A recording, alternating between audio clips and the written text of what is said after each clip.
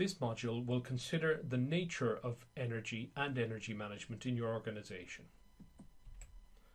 Energy management is concerned with both the technical and non-technical aspects of energy consumption and use. Energy management is defined as the process of managing the energy consumption of an organization to ensure that energy is used efficiently. For our purposes, an organization refers to a group or company with energy using facilities such as buildings or factories.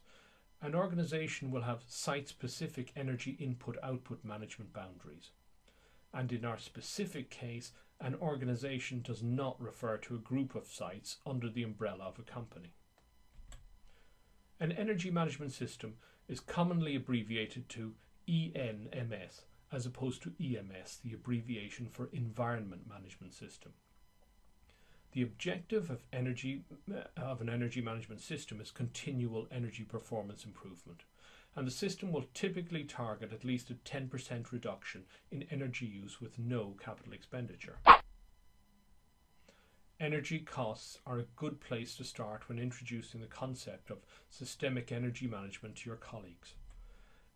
A focus on actual costs will help them realize that energy use in the workplace is actually a significant business cost, and seeing the costs involved will help them realize the benefits of an energy management system.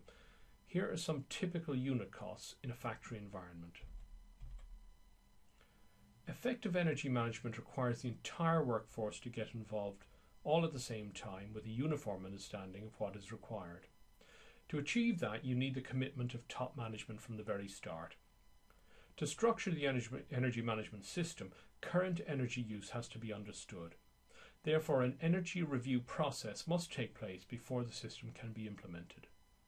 After the initial implementation, repeated plan, do, check, action creates a continuous energy performance improvement cycle, and that top management commitment must continue frequent management reviews help to maintain the impetus.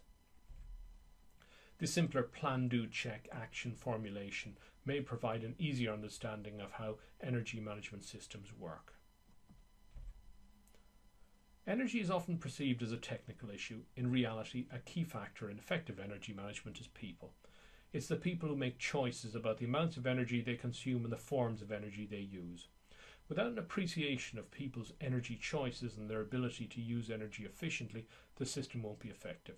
In fact, you can go as far as saying that the management of people's choices and skills is the main purpose of an energy management system. Energy is like a living creature. It requires proper supervision and guidance. Energy can only help deliver sustainable business outputs when we manage people's energy behavior properly. Your business mission is to provide quality products or services that deliver total customer satisfaction at least cost.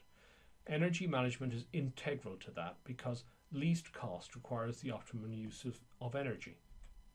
There are plenty of technologies available to improve energy management. In fact, the main barrier to progress is usually people.